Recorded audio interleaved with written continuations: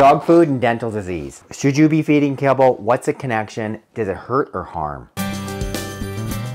Hello, welcome back to my channel, and if you're new, welcome. Click up there to subscribe, hit the bell to sign up for notifications, and when you click that link directly in the box below, I can send you a copy of my free book.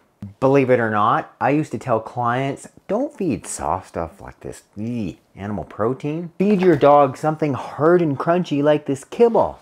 It's gonna help keep their teeth clean. Turns out millions of dogs, my own dog included, have shown that statement. It's not actually accurate. Tula has eaten kibble for the majority of her life, and let's just have a look at her teeth three months after having a dental scale and polish. Let's look at her back upper fourth premolar. See that? It is covered in tartar. Oh. So what's happening in dental disease as in what's going on in Tula's mouth? Tula eats food, aka kibble. Kibble, it has a high portion of carbohydrates. It rapidly breaks down in the mouth.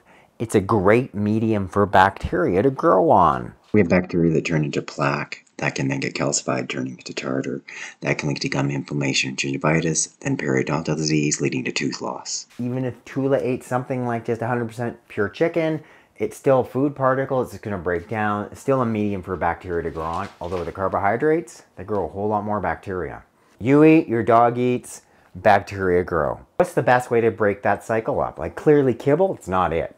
I'm going to show you five remedies today, but you should really stick around for the end, number five. It's a brand new one, could really make a difference for your dog's oral health. Number one, we're going to brush with a natural toothpaste. Toothpaste is one tablespoon of coconut oil.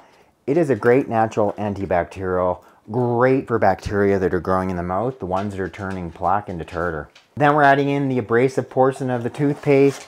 This is one teaspoon of baking soda. Mix those up well together and you've got a great combination that can help deal with gingivitis. That's the coconut oil. Help remove that plaque and tartar. That's the abrasive portion of the baking soda. I have here a little inexpensive electric toothbrush It's focusing on the area where the tooth meets the gum line. If you just do this once a day, it can make a big difference. Number two, a natural oral rinse in the form of this green tea. Just make yourself a cup of green tea. You're adding a full cup of water. Let that sit and steep for 15 to 20 minutes. Let it cool. Green tea is a great antibacterial. It can decrease gum inflammation and it can really decrease the amount of bacteria that are causing gingivitis.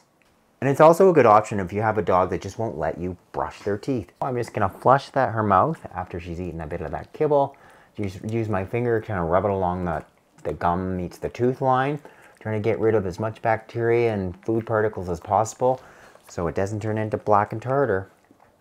Number three, if your dog will let you, consider a dental scaler. I like this dental hand scaler. Uh, it's sort of here in the shape of a little hockey stick. And the one edge here, the one on the very top, that's the part that's sharp. And what I'm going to do is just gently move it along the surface of Tula's canine tooth because she'll let me. Just being really careful I don't hurt her gums. Good girl. I actually think it's a great option if your dog will let you use it. I use it on my last dog, Lewis. He never once in his 13 years of life ever had had a veterinary dental.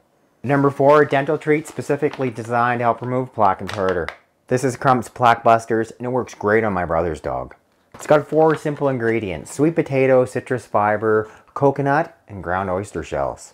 As my brother has said, his dog Angus has white shiny teeth now as a result of these dental treats. Some of the dental treats, they're definitely working well for some dogs.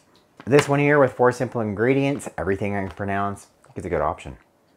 Number five, these are probiotics, the good bacteria. Believe it or not, there are billions of bacteria, as many people as there are in the world, in your mouth, in your dog's mouth. There are also approximately 500 different species. The bacteria that are in Tula's mouth, it's called the oral microbiome. And there's a bunch of studies out now showing just how important this is for dental health. So I'm pretty confident if you and I were to survive on a diet of processed food, say something like dog kibble, we're gonna have a pretty altered microbiome. And an altered microbiome, that can increase the number of bacteria that are causing harm.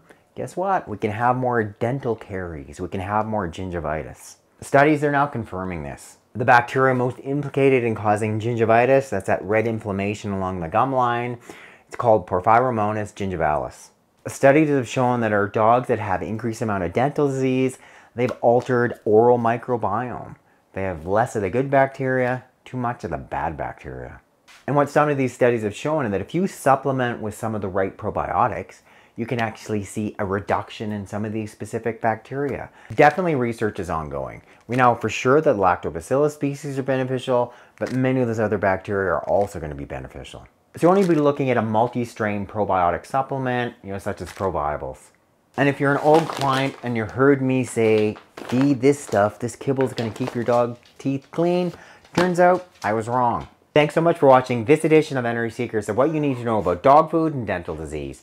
Click up there to subscribe, hit the bell to sign up for notifications, and when you click that link directly in the box below, I can send you a copy of my free book.